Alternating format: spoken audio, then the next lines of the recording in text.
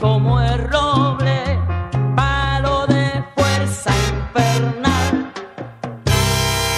Resisto el azote de la cruel tempestad, pero no puedo aceptar ese absurdo y tonto criterio que no existe sentimiento.